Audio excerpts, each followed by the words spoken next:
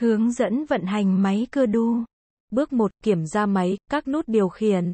Không có vật cản trên mặt bàn làm việc. Bước 2. Bật máy.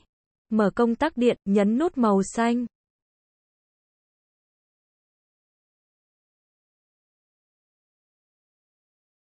Bước 3. Vận hành. Đưa phôi vào cỡ giữ chặt kéo cưa đi qua phôi sau đó đẩy lại.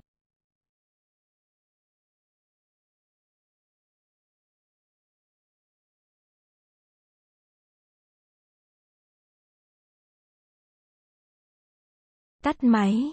Nhấn nút màu đỏ tắt công tắc điện. An toàn lao động. Mang đầy đủ bảo hộ lao động cần thiết. Không bỏ các vật dụng khác vào máy khi máy đang hoạt động.